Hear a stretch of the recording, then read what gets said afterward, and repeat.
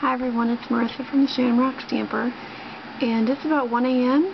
and I've been trying to get this video to cooperate with me and it hasn't so here I am and this is my last try because I am exhausted.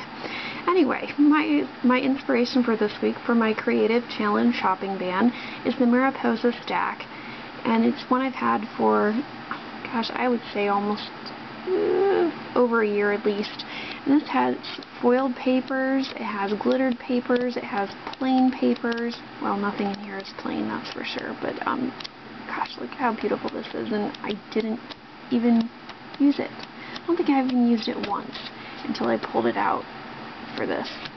Anyway, um, I'm going to start out by showing you what I've made um, with this stack. And then I have one other stack that I started on that I haven't uh, made very much with, but I'm going to show you that as well. So here we go. First item I made is this trivet. You can kind of see it here. Um, it's a ceramic tile trivet and I used Mod Podge, the um, glossy Mod Podge, to go ahead and adhere it, adhere it down. And then I layered it about five or six times with Mod Podge. And I am going to kind of test it and see, you know, how heat resistant it is. Um, but I think I'm going to do it on another one. I'm going to make a sample one out of some cracked up tile that I have because I don't want to ruin this one. It's too pretty. So anyway, and then on the back, um, I have these little felt feet that I put on it because I actually use this piece of ceramic tile on my table as a trivet and it worked out very nicely. So love this. So pretty. Alright, now on to some cards that I created with the Mariposa stack two of them who, that are fairly similar uh, right here. And I used a little bit of wrinkled ribbon that I purchased, mm, again, probably about a year ago, a whole spool, spool of it, May Arts. And I have been able, um, it's before the, I think the whole seam binding thing.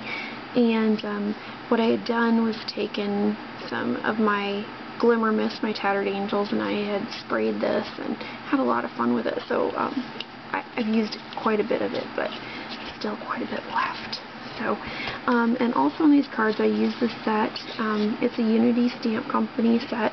Today's special, um, and is a co-brand with Webster's Pages, and a lot of you are probably familiar with Webster's Pages with all their um, pretty, um, well, papers and stamps and other embellishments.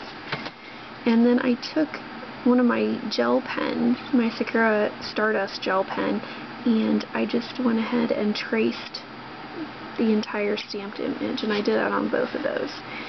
Oh, I can't leave well enough alone I suppose. And then I also used on these some, uh, a package these I picked up from Hobby Lobby and never used, the mosaic tiles, the little acrylic tiles, and they're really pretty.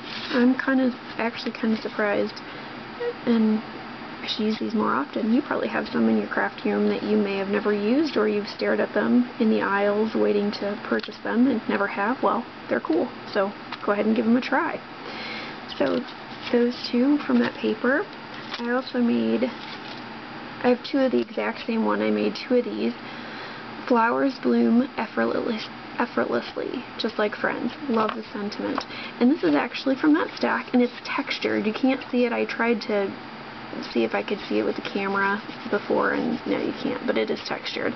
Use some pearls here, a little bit more of that wrinkled ribbon with a PTI button right here.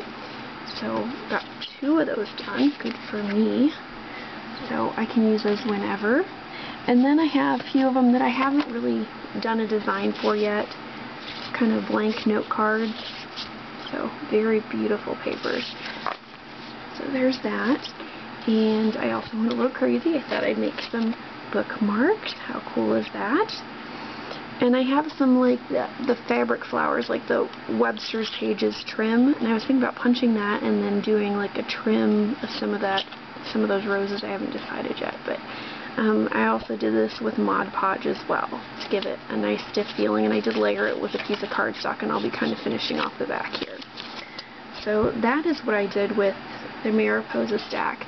Then I used an animal cracker stack, which is also die cuts with a view. And I haven't really done a whole lot, but I thought I'd make some little kid birthday cards. And all of these, these colored tickets that I never used first time. So I used a Papertrey Ink set, and it was their, um, I think, birth, birthday basics.